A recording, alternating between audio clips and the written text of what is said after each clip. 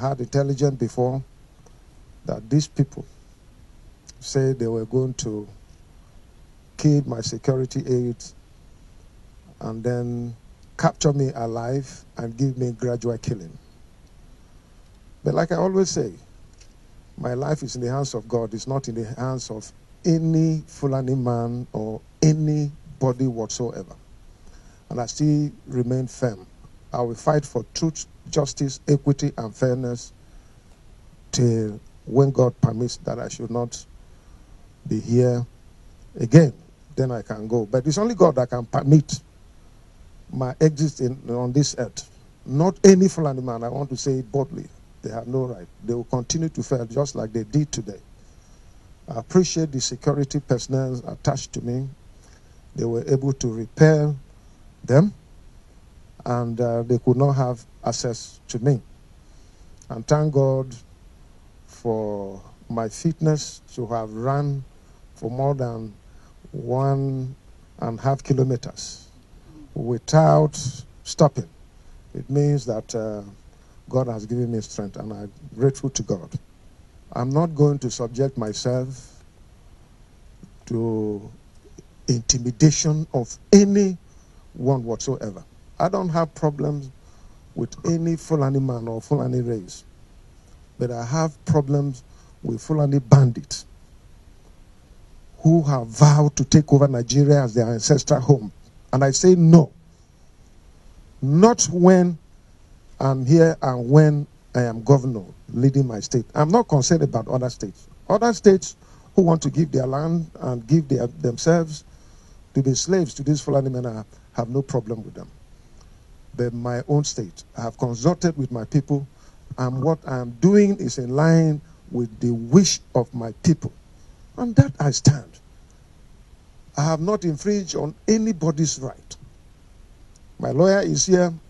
He's going to send a petition against the leadership of uh, Fulani herdsmen or whatever you call them, Miyetti Allah.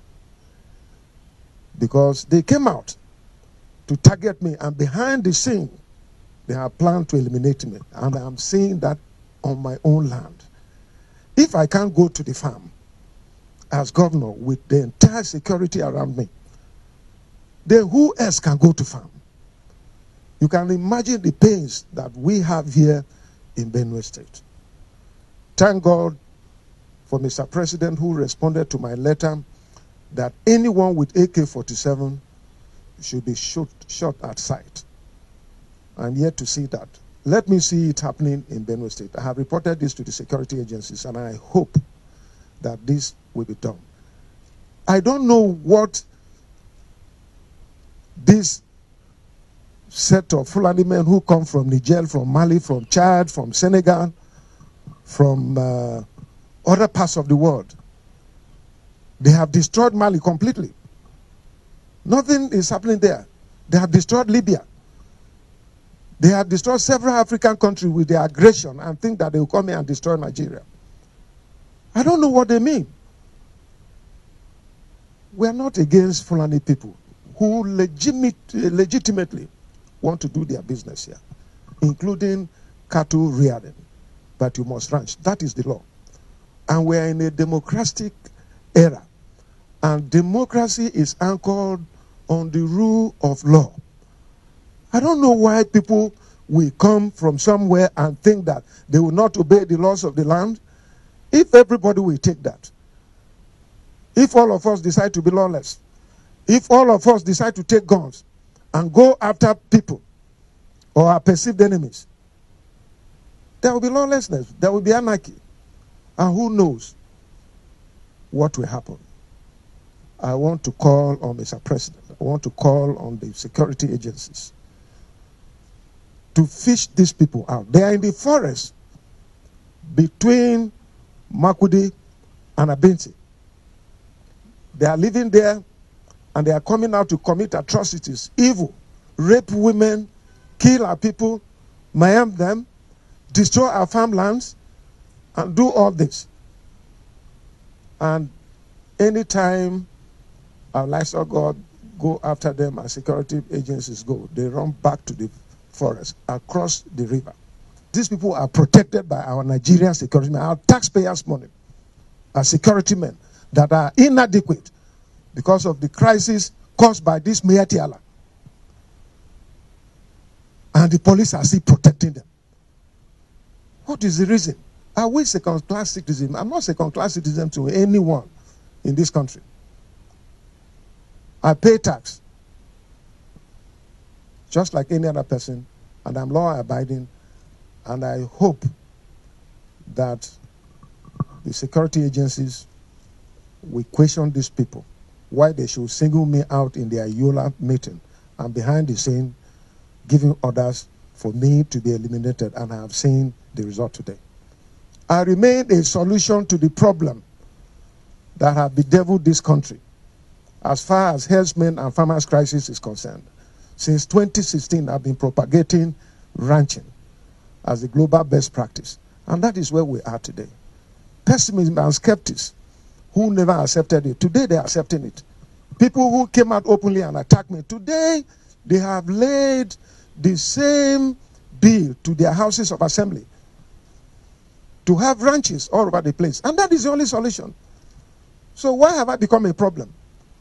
By finding a solution to a problem that is existing and government is not able to come out to make pronouncement or legislate to ensure that we all live in peace. How am I a problem? Let them come and tell the whole world. Let them tell me. And I have always said that look, if you disagree with me, tell me the other option that is superior to the one that I have brought on the table. Up to today, nobody has said it. I challenge all Nigerians. I challenge all Fulani men who are against me. I challenge Nigerians who are against me. Come out and tell me